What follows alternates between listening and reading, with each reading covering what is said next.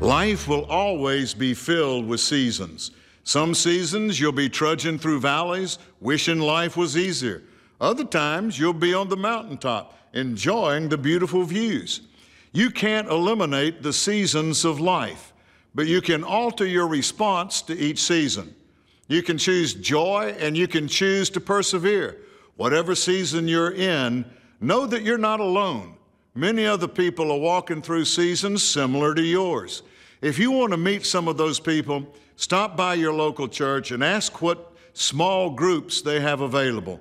Connecting with others will make every season much better. I'm Mac Hammond. This is the Winner's Minute.